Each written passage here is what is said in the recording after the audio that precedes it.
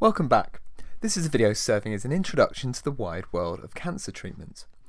Here I'm going to outline the, what the main types of cancer treatment are, the main aims of cancer treatment, who's involved in making the decisions and carrying out those treatments, how different types of cancer treatments are used with each other, and other important factors in making decisions about cancer treatments. So first I'd like to talk about what treatments are available, also known as treatment modalities.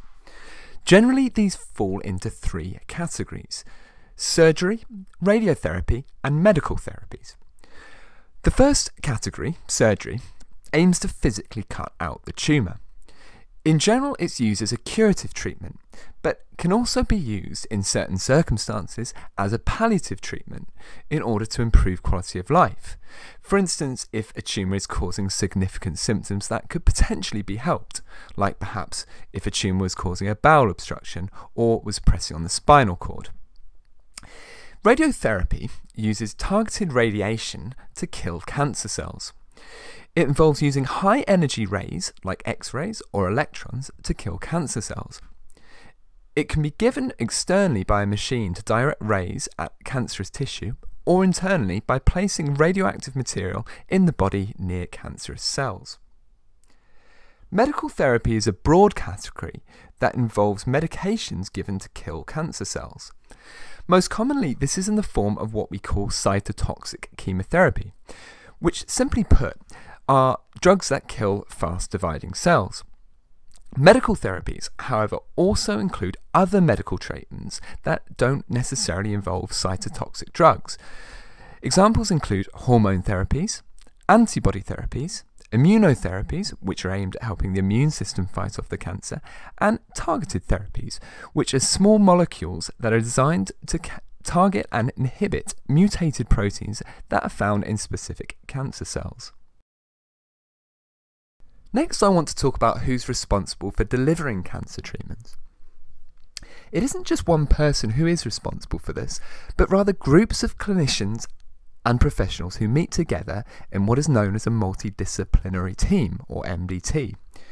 This will involve oncologists, who are medical doctors who specialise in the treatment of cancer, surgeons who offer surgery to cut tumours out, radiologists and histopathologists who provide information about the staging and the types and grades of cancer to allow the others to make decisions about the appropriate treatment.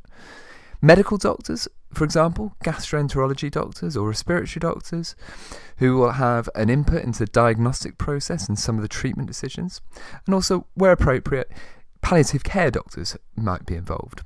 Specialist nurses who are heavily involved in the communication side as well as delivering and monitoring treatment are also involved in the MDT.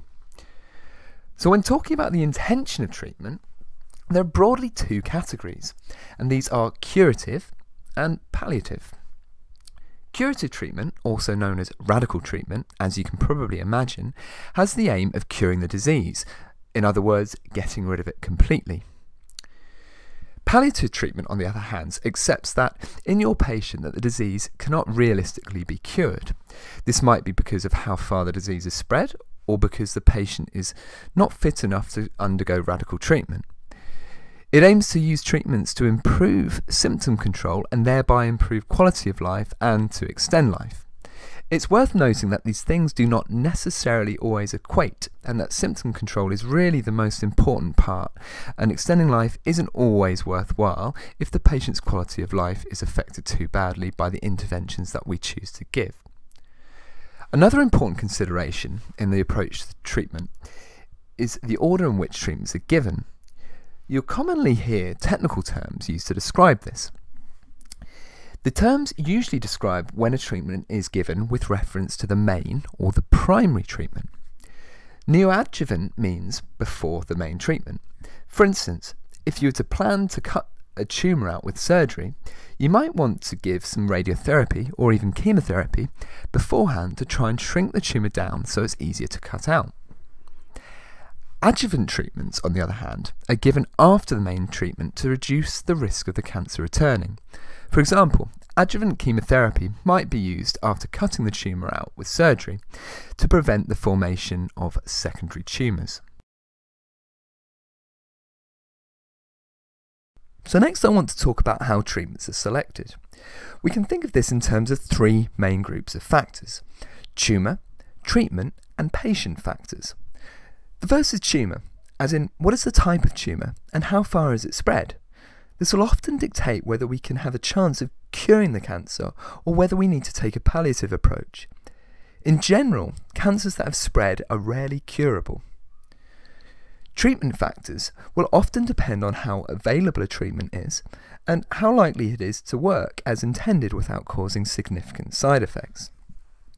Finally, but often most importantly, are patient factors. This will include how fit a patient is.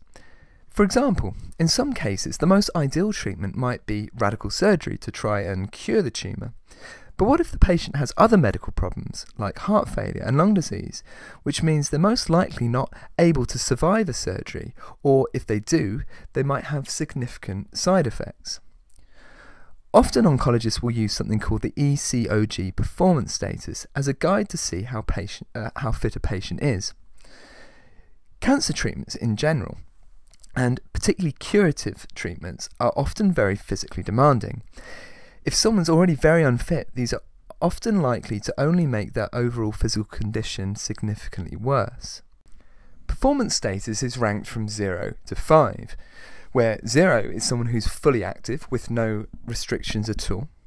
1 is someone who's restricted in strenuous activity only, like brisk walking, climbing stairs, that kind of thing. 2 is where people are restricted but still up and about for over 50% of the day. Three is where they're restricted and up and about for less than 50% of the day. Four is where they're bedbound. Performance status also has a grade 5, which means dead, which I can only assume is useful in terms of research rather than clinical practice. Finally, the patient's wishes as to preferences over treatment are also vital. They must be fully informed of all the risks of treatment, the likelihood of success, and decide for themselves whether they would like to have the treatment. So, in summary, the main questions that are raised when choosing cancer treatments are what type of cancer are we dealing with? Usually, this is found out from histology results from biopsies. How far has it spread, i.e., what stage is it? Which we usually find out from scans.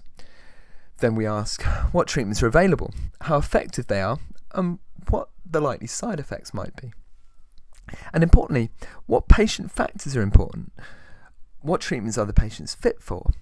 And what are their own preferences? With this information in mind, we have to decide whether the cancer is curable or whether symptom control as part of palliative care should be the aim. Appropriate treatments are selected. These might be surgery, radiotherapy, or medical therapy. And then the order, i.e., is that therapy going to be used as the main therapy, primary therapy, or before, neoadjuvant, after, adjuvant, or at the same time, concurrent? Thanks again for listening. As usual, your comments and questions are more than welcome, and please hit subscribe if you've enjoyed the video. Thank you.